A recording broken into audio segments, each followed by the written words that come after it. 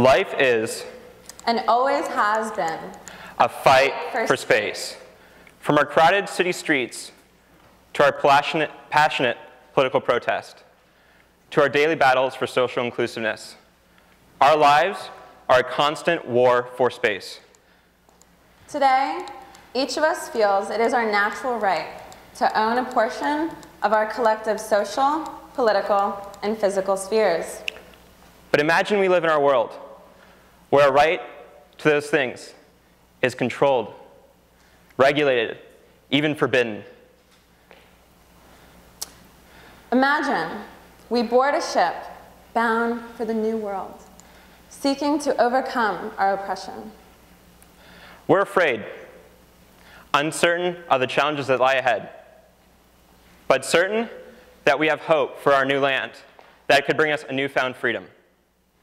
As our journey ends and the shoreline comes into view, for the first time, we behold a horizon so vast, so pristine, that we can already taste newfound freedom.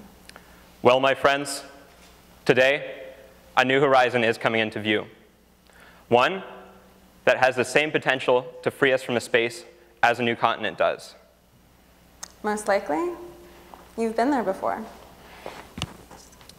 The next time you're outside, look at the sky through a different lens. That, that is our new world. That is our unexplored continent. That is our bountiful horizon. And our vehicles of exploration? Drones, Quadcopters. UAVs. But a drone by any other name would buzz as loudly, am I right? That's a Shakespeare pun, by the way. For all you millennials, Shakespeare was a writer. But whatever name you know them by, has your curiosity, intrigue remained intact?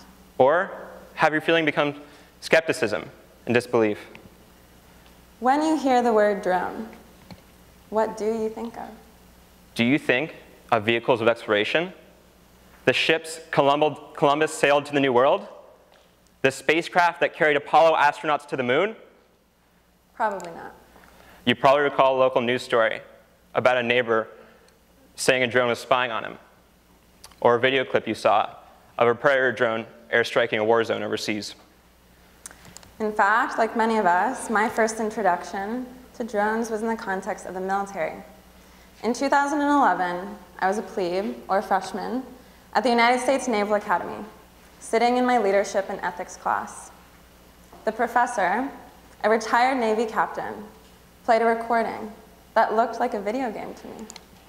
That is, until I realized that the targets were in fact real people being attacked by a remotely piloted UAV.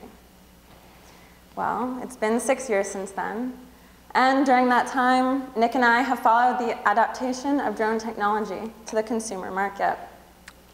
Two years ago, I was one of those consumers.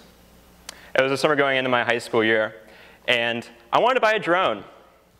Coming from a background of aviation and having flown airplanes since I was 12, I thought, hey, it would be a natural transition, right? Well, was I ever wrong? I found that operating a drone required extensive technical knowledge, and deeper than your knowledge had to be your wallet. So I thought, maybe there's a safe space I can go to fly. Once again, whew, was I ever wrong. There was no safe space to fly. In fact, there was hardly any space at all. One year later, Marjorie and I are very proud to have co-founded a startup that brings that space to us, a safe, legal space for people to fly drones.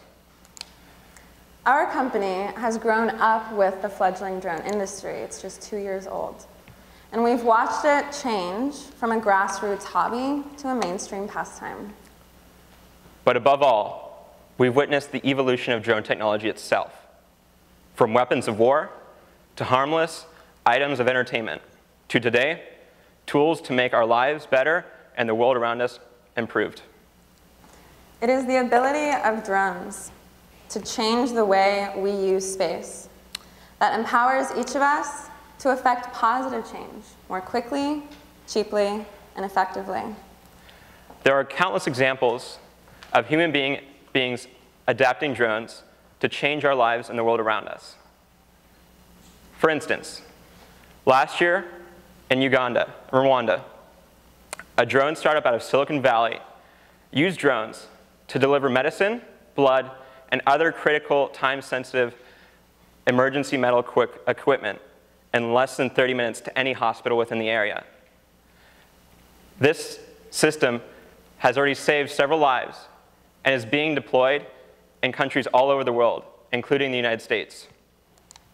Drones are even being used to save the lives of, of critically endangered Sumatran orangutans. In 2014, a pair of biologists built a drone in order to observe these orangutan nests.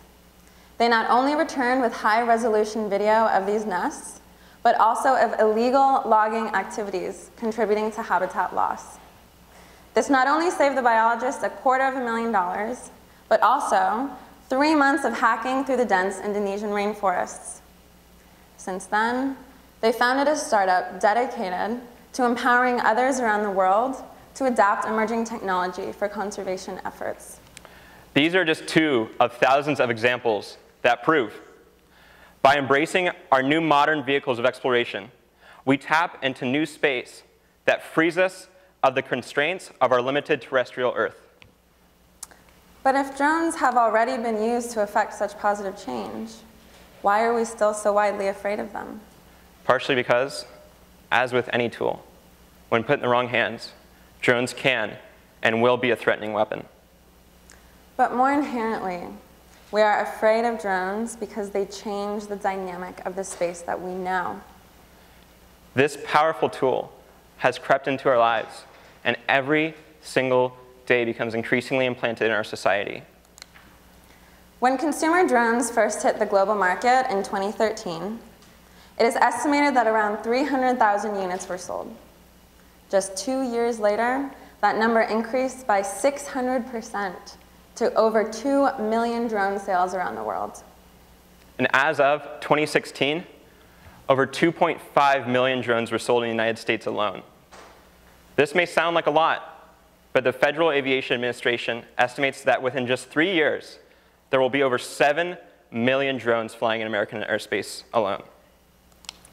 The prevalence of drones in our lives is unmistakable. And while we've all probably come into contact with drones in a different way, we've all similarly recognized their ability to change the space that we feel entitled to. Drones change our social space. A refugee-founded nonprofit is using drones to facilitate the safe arrival of Turkish refugees to Greece. Drones change our political space. Police departments in the UK are using drones to search for missing people and even to explore crime scenes. And drones change our physical space. Sorry. A Welsh company is using drone imagery to identify the specific location of weeds to reduce the unnecessary use of harmful pesticides. Drones have permanently changed the way we use space. But if you take nothing else away from this talk today, know that this change can and will be positive. Nick and I are asked so frequently how we think drones can change the future of humanity. Well, having been immersed in this industry since its inception, and having witnessed the power of using new space, this is our response.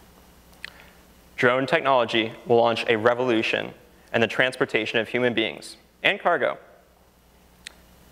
This revol revolution will, in turn, will leave our primal fight for space, making our lives happier and healthier.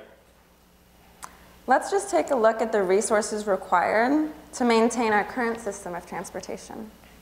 In the United States alone, there are over 4 million miles of roads, enough to wrap around our Earth's equator 163 times.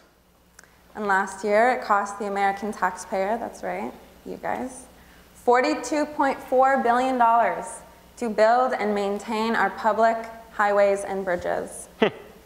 and parking lots? There are over 500 million in the United States alone, consuming enough area to eat that of the state of Delaware and Rhode Island. And even our beloved hometown city of Houston is estimated to consist of 25% parking space, but only 2.6% green space. Something has to change. The physical health of our environment is intrinsic to the mental health of our society. an MIT architecture professor, argues that if just 50% of our, green of our parking lots could be turned into green space, this area could handle 2 billion cubic meters of water every year, could produce 822,000 tons of oxygen for us all every year, and could absorb 1.2 million pounds of carbon dioxide every single year. Now imagine when, not if, when drones carry humans. Instead of driving on the ground, we're flying in the sky. Instead of parking in driveways, we're parking, excuse me, we're landing on building rooftops. And instead of spending billions of dollars maintaining and building our public infrastructure, we're spending just a fraction on the cost of the cost on air traffic control. Imagine the fresh air that would be breathed into our society, the freedom that would relieve our crushing terrestrial lifestyles.